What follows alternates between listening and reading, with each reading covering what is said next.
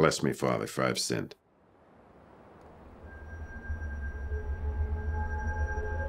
What is your sin, my son?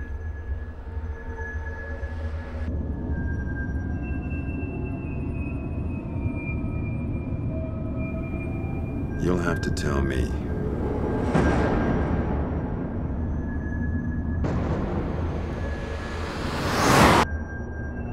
Thought he was dozing off, but later I had reason to think I was wrong about that.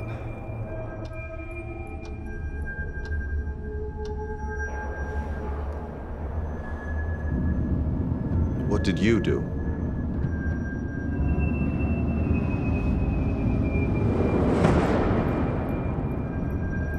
Talked about my wife.